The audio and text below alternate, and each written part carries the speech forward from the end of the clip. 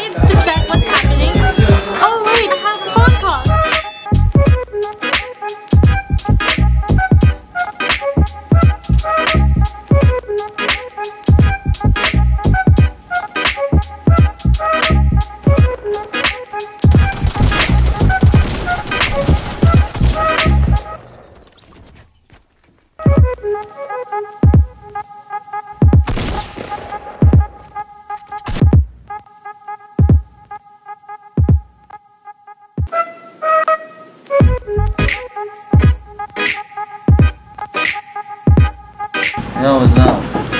Yo, what's up? Hello? People are having a hard time in Trigo.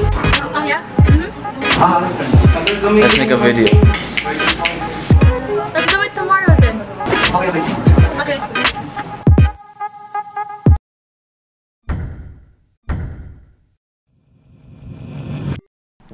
Trigonometry is everywhere. Bridges use trigonometry to remain resilient under our feet. Engineers always use trigonometry to create and build things. But how does it work?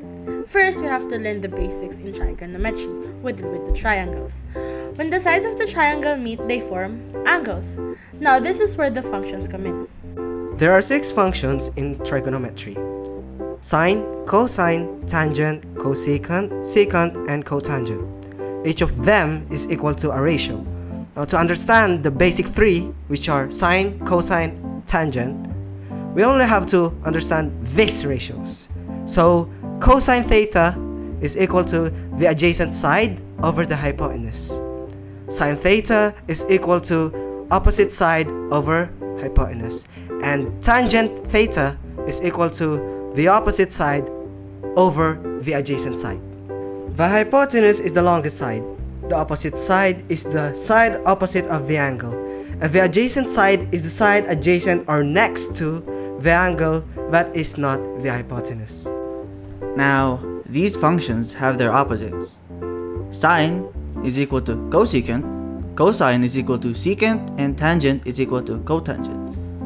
Now, to get the opposite ratios, just get the reciprocal of the respective functions.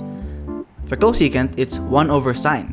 So get the reciprocal of sine, which is opposite over hypotenuse, and get the reciprocal. So cosecant is equal to hypotenuse over opposite. Secant is the same thing, but you use cosine. So get the reciprocal of cosine, which is adjacent over hypotenuse, and you'd get hypotenuse over adjacent. It's the same thing with cotangent.